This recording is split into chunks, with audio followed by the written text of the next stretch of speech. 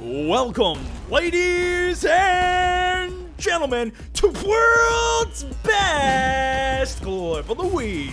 I'm your host, Stone Mountain, and this week's Rainbow Six clips are incredible. But first, last week's winner was in hot contention between that Alpha and Echo. Just narrowly, the Echo took the win with this incredible force push speed, tearing down the Stormtroopers for a 3,700 point chain. Guys, quick sidebar if you've been following me on some social media, you might know this, but I'm getting married next weekend, which is incredible. I am so excited. But that also means I'm going to be a bit slow with videos in the second half of January. There's not going to be any poll results until February, which is also going to be when I kick off all my live streams. The weekly giveaway is still here, now featuring a t-shirt from my Swag Mountain store, link down below as well. All you need to do is be subscribed and vote which of these clips are your favorite, because I just put them in a random order. Starting us out is the Echo clip as Fuse drops a cluster through the heavy barricade, which gives him a kill. But also, look at this tactical play. It leaves a perfect hole without even having a high caliber rifle, which is the only thing that can shoot through this. He's got his suppressor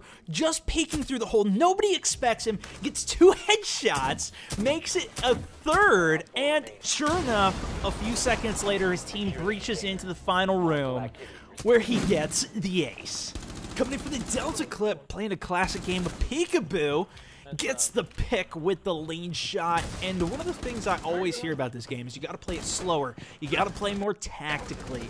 Well, Cravez flips that on its head, playing a classic game of Ring Around the Rosie here. Uses that speed to his advantage, getting to the flank. Flanks him with a knife in the back, shot in the back before he could even realize. Now in a 1v1, that last player's slow approach, and he just pushes out straight on him, making him fall back, then comes around from another angle, finishing him from the side. Excellent tactics. Coming in for the Charlie clip on a 1v5. Make that a 1v4 engagement in the clutch.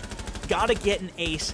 This is overtime as well. He dropped one through that doorway. Somebody else is trying to push through it. He's not getting any hit markers. It's because the guy has a riot shield and he's not getting any vantage point. There is a hole in the wall to the left there, so he's not trying to peek too much. That's the A-bomb site. He's defending over at B here. The other team putting pressure on him, but they decide to just rotate back over to B when he gets a one-shot four Dude, no, kills. No, no, Super quick burst. Watch this in incredible slow-mo here. Everybody happened to take their eyes off of him at the same time, and they just lined up for a perfect wall bang Quad kill, what? Coming in for the Bravo clip, Happen is making some new tactics of his own here that I have never seen on offense. They breach into the Alpha room and the diffuser goes down. Sledge breaks this doorway open where they were all camping at the other objective.